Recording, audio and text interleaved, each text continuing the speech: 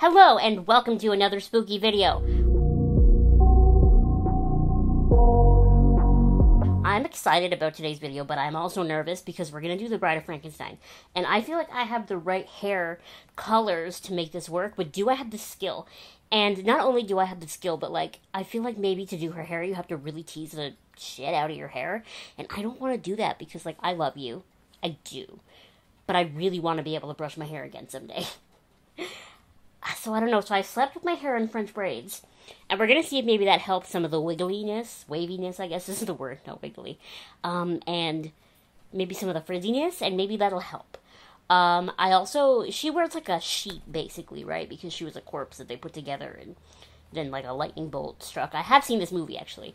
Um, but I don't own like anything white or anything white. So this is literally my Xena shirt. But if I just sit like this, maybe it just looks like a white t shirt. And um, the first part of this that we're going to do, I realize that I'm just jumping right, right into this, but I'm excited because I forgot that I had some of these little, uh, like scar tattoos, stitched tattoos left over.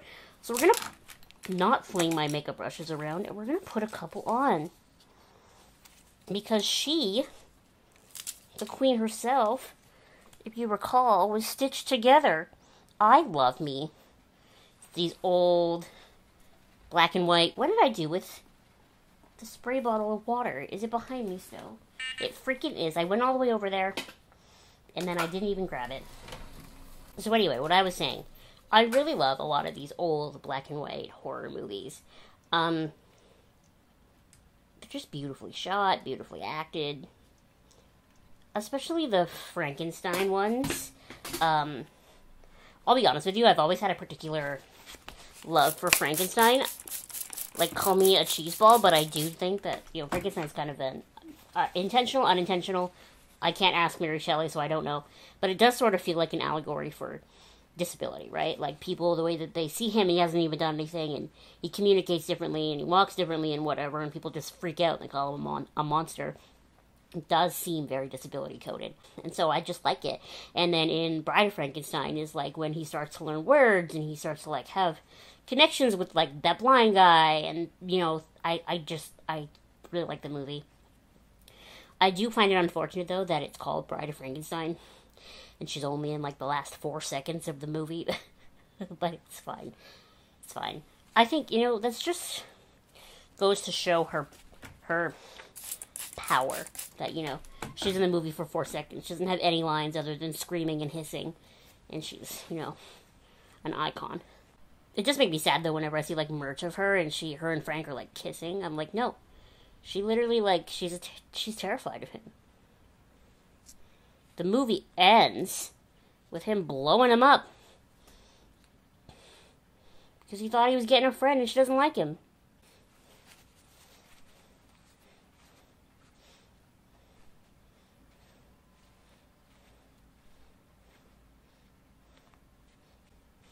You know, I used to have a really sharp jawline. And then I got a little bit older. And I just kept snacking.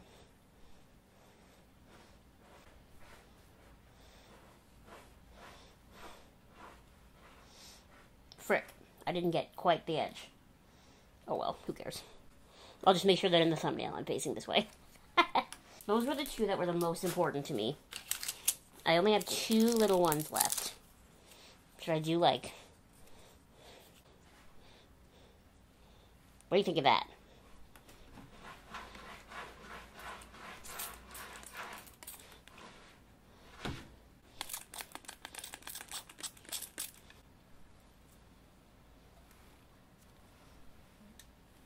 Woohoo!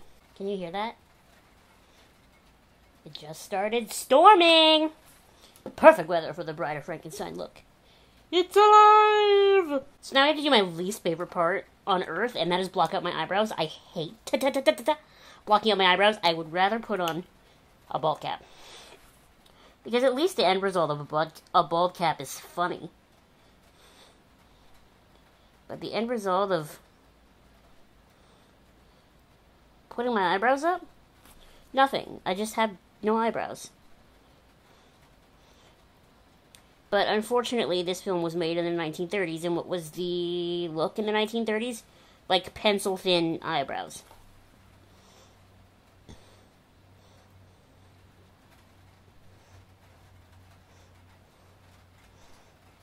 Look at how wacky that looks. Not wacky in a good way either. Not Doc Brown wacky.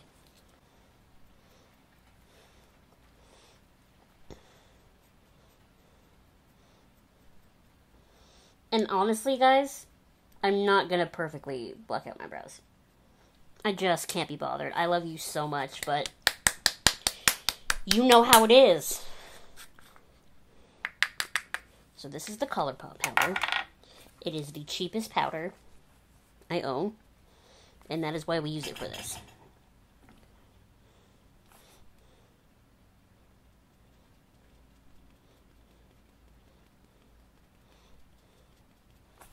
I just hate the feeling of like the glue in my eyebrows, you know?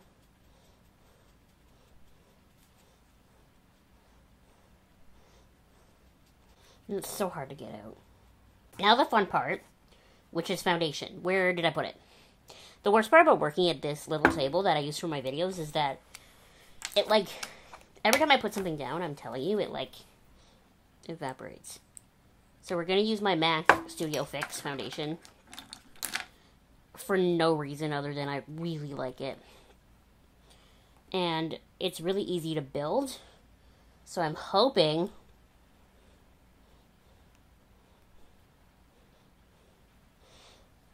and praying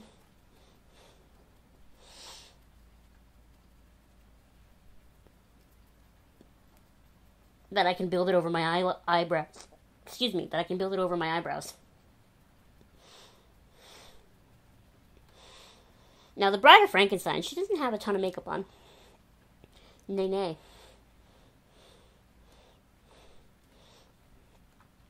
She's just got those straight across eyebrows, a red lip, and then the hair. I understand what they were doing with the hair. You know, she was laying flat, and then she got electrocuted by lightning.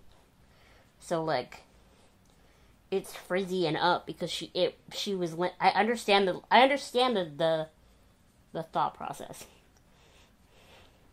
It's just hard to recreate. I will say though, isn't it weird that Spirit Halloween doesn't appear to have a Bride of Frankenstein wig? Like, I was in their store the other day, and I was kind of trying to check stuff off the list of like stuff I need for videos. I'm not getting a lot this year, but like some stuff I can get. Um, and I was looking in the wig section and I didn't see one, so I opened up the website on my phone. No Bride of Frankenstein. How weird. Editing Abby here. How weird is it that they've never had a Bride of Frankenstein costume, wig, anything until this year? And um, when I shot this video in August, they didn't have it, and now they do. And I've seen it both in store now and I've seen it on the website here. They have it for all age groups. They've got socks with her on it. They've got patches, and it doesn't show up here, but they even have a makeup kit. I did not buy that for this year, but they have Bride of Frankenstein everything now all of a sudden randomly. So yeah, I know I just said that they don't have a wig, but they do now. Great, love that for me. I didn't do very much on this at all. It's not my fault my eyebrows are so naturally luscious.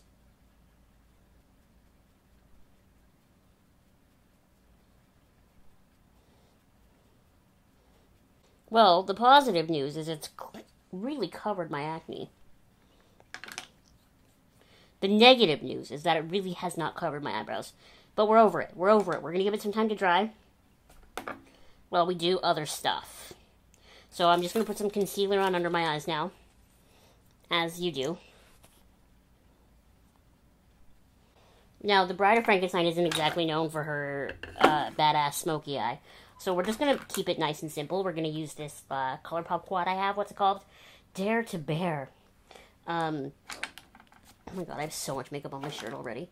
Um, and we're just going to, like, do some really light shadow in the crease just to make it... I don't know, just so I've done something.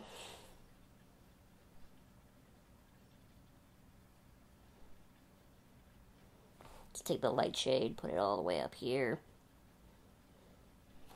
Take the slightly darker shade. I really love this ColourPop palette, but man, does it make a mess. Like, look at look at that. And her eyes are bright and open, not so much catty.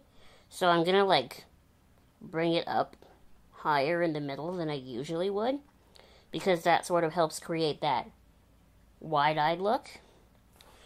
And then when I do my eyeliner, I will not be winging it. Which is gonna like be really difficult for me, but sometimes in life you just have to make sacrifices. The glue makes your skin like not nice.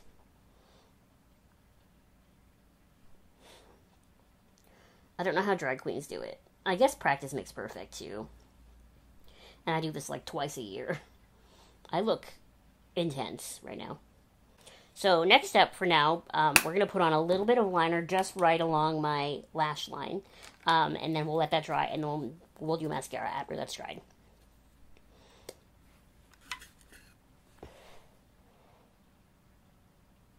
So I accidentally did my liner a little thicker than I meant to, but honestly, that's okay.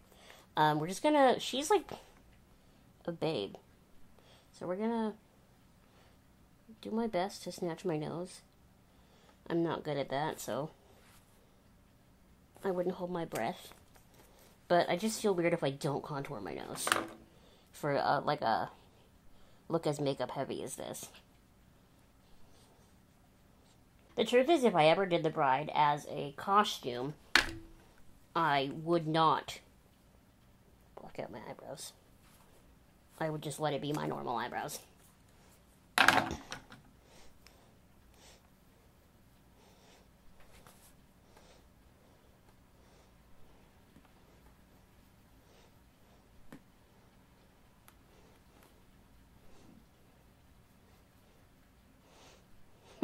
There's too much other product in this brush. It's got like glue and powder, and it's just making everything look ashy. So we're just we're just not going to use this brush anymore. Okay, it appears my eyeliner has dried, which means it is crusty dusty lash curler time. I don't think you guys understand that when I'm shooting a YouTube video, and it's makeup related, like I feel like I can't stop to take a breath. And the reason I feel this way is because my camera shoots in 20 minute increments and I can see the countdown going and it always goes so much faster than I think it's going to. And it just gives me anxiety. I'm like, wow, I've already been shooting for 45 minutes and it feels like no time has gone by at all. So I sit here and I'm like, like rushing to get stuff done. You know what I will say though? Like one of the things that I really like about The Bride of Frankenstein is like how the movie opens. It opens with Mary Shelley, right, like the actress playing her, like sitting down telling the story of Frankenstein and then being like, "Oh, I wish like it didn't end the way it did." And she's like, "Well, who said that's the end?" And then she gets into the the sequel, right? And that's kind of how the movie goes.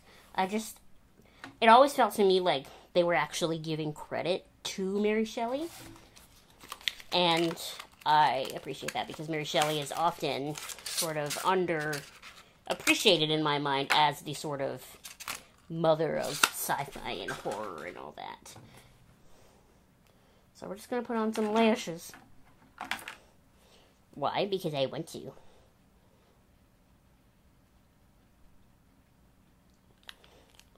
And then the makeup portion of this video is almost done.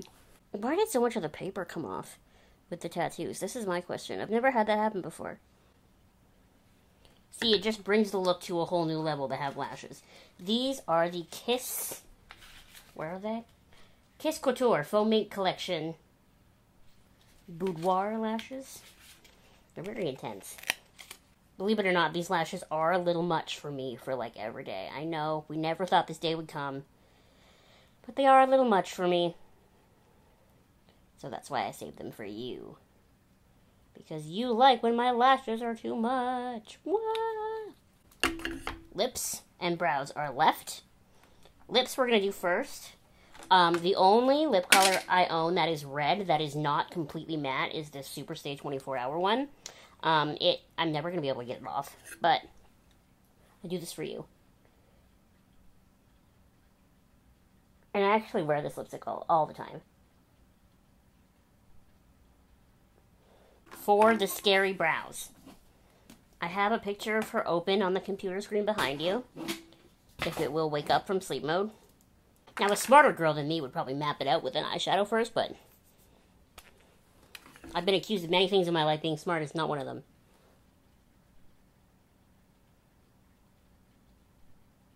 Yeah, I should have done a couple more coats of the glue. My eyelashes aren't even stuck down in the front here. My eyelashes, eyebrows.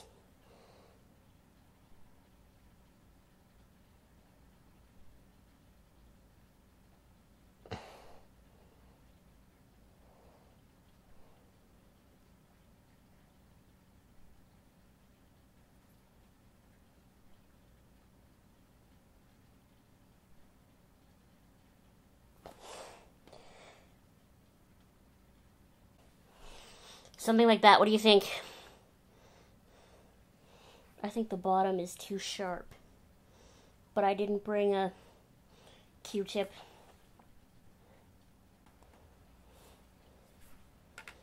If I had mapped it out, they would be so much cleaner and so much nicer. But I didn't. I just went in with frickin' frickin'. Now, while makeup is an area I have some semblance of confidence with, an area that I have no semblance of competence with is hair. I loved hair when I was a kid. I used to own curling irons in different sizes. I used to uh, try different heatless curl methods. And I'm talking like a kid kid and then like even into high school I was like we're to try this. Um and then eventually I just gave up because I'll be honest with you, a lot of it was because my of my hair texture. Um, the way it just doesn't. Like people always want to be like, Abby, your hair is so smooth, it doesn't frizz, blah blah blah. Like they think I'm just being annoying, but the truth is, like when you have hair that is smooth and whatever, like it doesn't want to do anything. So like I slept with my hair in French braids, and this is all we get. So I was hoping it would like have a whole bunch of added frizziness and whatever, but it apparently doesn't. So how we're gonna do my hair, I actually did watch another YouTuber. I can't recall her channel name, but I will link it in the, in the description box below. I watched her do it, and it seemed so intelligent. Now, she was very skilled, and I am very not skilled. So, we're just gonna try it. She also didn't have, like, stupid long hair like I do. But basically, she did her whole hair up in this thing that we're gonna try, and she like used that that spray hair color and made it black. So we make a ponytail up here.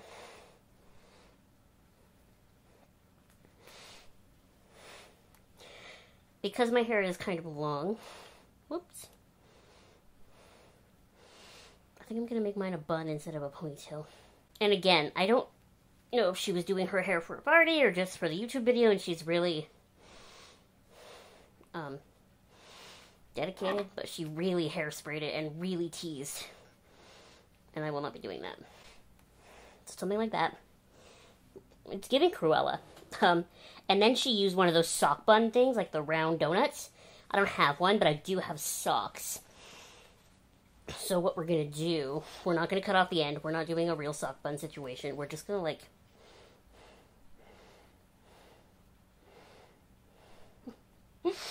put it around.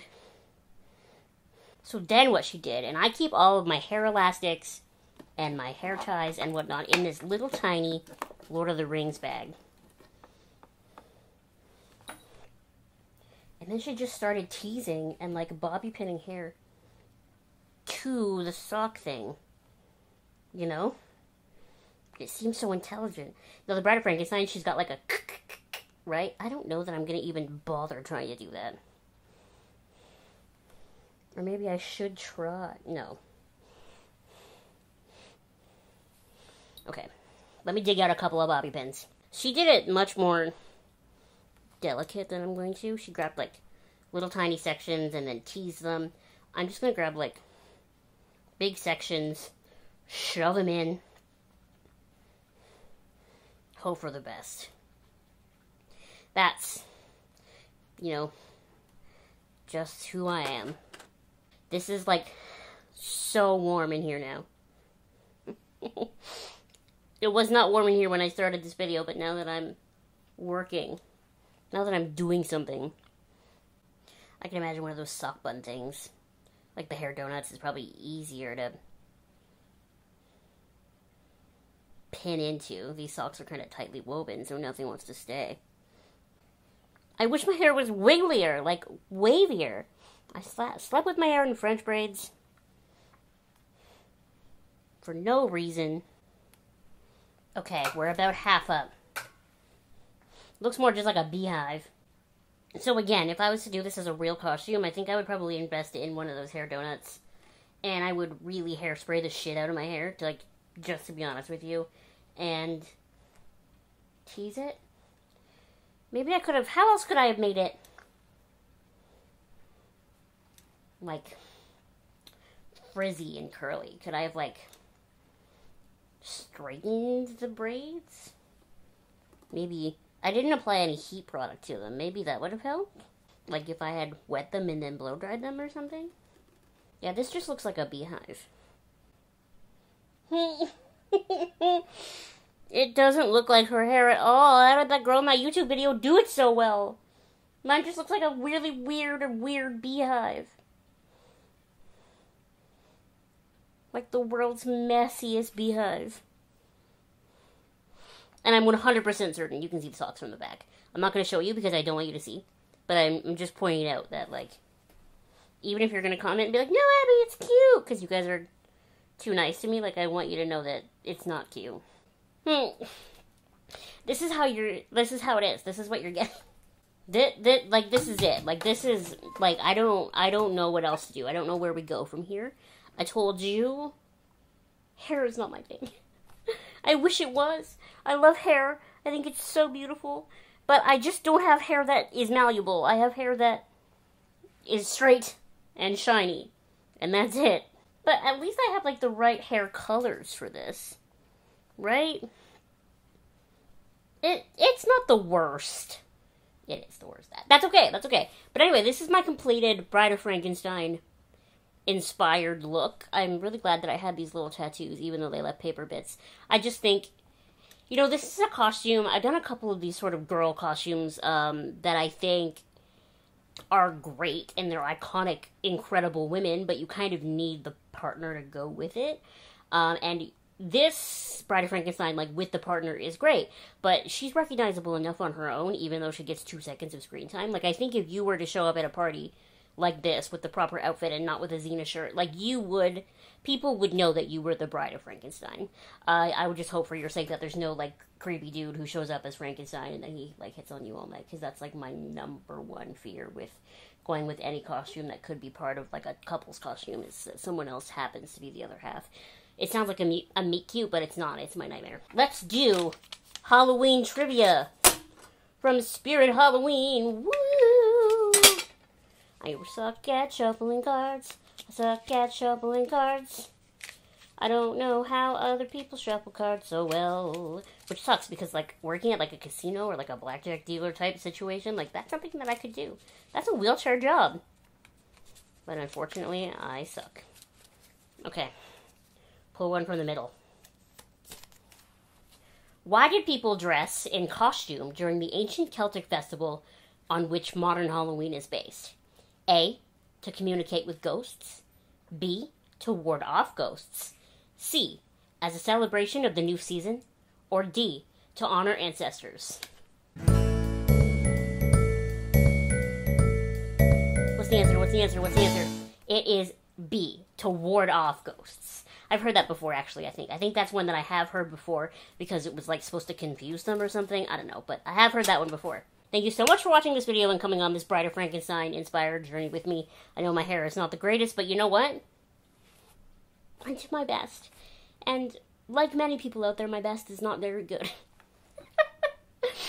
but we had fun doing it, and that's all that matters. Please subscribe to my channel if you have not subscribed already. Hit that thumbs up button, um, and I will see you all month for more spooky content. I'll see you in the next video, I hope. Tell your friends that there is still someone out there on YouTube uploading videos doing spooky content, and that someone is me. And they should come hang out and watch me. Because then, next year, I can afford to buy costumes to go with these looks. And maybe a wig.